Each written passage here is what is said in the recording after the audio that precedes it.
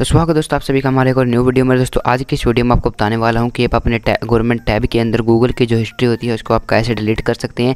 पूरी प्रोसेस दोस्तों आपको इस वीडियो में मिलने वाली है। अगर आपको वीडियो अच्छी लगे वीडियो को लाइक और चैनल को सब्सक्राइब कर देना। तो चले दोस्तों, बिना किस तरीके इस इंपॉर्टेंट वीडियो को शुरू कर लेते हैं।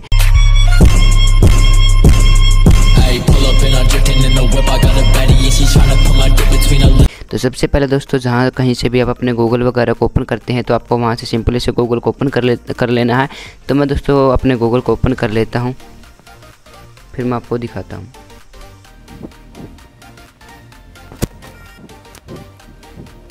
तो अभी आप देख सकते हैं, मैंने यहाँ पर सिंपली से अपने गवर्नमेंट टैब के अंदर गूगल हाउस को दोस्तों यहाँ पर ओपन कर लिया है।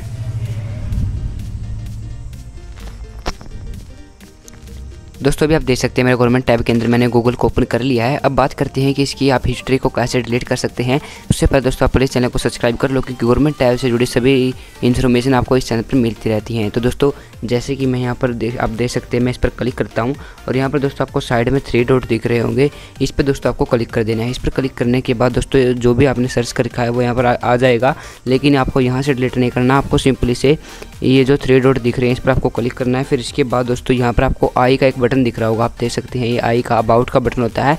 इस पर दोस्तों आपको सिंपली से क्लिक कर देना है। इस पर क्लिक करने के बाद यहाँ पर आपको नीचे में लिखा दिख रहा होगा लास्ट विज़िट टूडे इस पर दोस्तों आपको क्लिक कर देना है। जब आप इस पर क्लिक करेंगे तो आपकी जो पूरी हिस्ट्री है वो आपके सामने आ जाएगी। क्या क्या आपने गूगल पर सर्च किया है? ये पूरी हिस्ट्री दोस्तों आपके सामने आ जाएगी।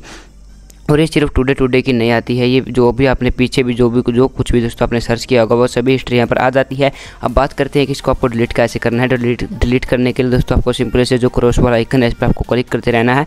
तो आपकी जो हिस्ट्री है, वो यहाँ पर डिलीट होती रहेगी। तो आप देख सकते हैं दोस्तों, मैं यहाँ पर क्रॉस के आइकन पर क्लिक कर रहा हूँ और यहाँ पर ये हटते जा रही हैं। तो वैसे ही दोस्तों आप अपने गवर्नमेंट टैब के अंदर जो गूगल की हिस्ट्री है, वो यहाँ पर आप डिलीट कर सकते हैं। अगर आपको इसमें कोई प्रॉब्लम आती है तो आप प्लीज़ कमेंट में बता देना। बाकी अगर आपको गवर्नमेंट टैब की जुड़ी कोई भी प्रॉब्लम है तो कमेंट में बता देना। दोस्तों, अगर आपको वीडियो अच्छी लगे, वीडियो को लाइक और चैनल को सब्सक्राइब कर देना। तो मिलते हैं दोस्तों ऐसे इंटरेस्टिंग वीडियो को लेकर। तब तक कल बाबा टाटा, जय